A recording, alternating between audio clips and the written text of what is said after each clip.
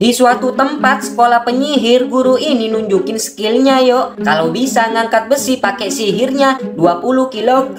Murid-murid semua pada kagum loh, tepuk tangan. Nah, akhirnya ada satu murid yang nyoba dan bisa ngangkat beban 5 kg. Dan murid senior di kelas bisa ngangkat mejanya loh. Lalu murid cewek ini juga nyoba ngangkat besi 3 kg, tapi nggak bisa-bisa yuk. Pakai dua tongkat juga nggak bisa yuk, ditinggal sama guru sedih. Tapi ternyata dia berhasil ngangkat sekolah guys. Hahaha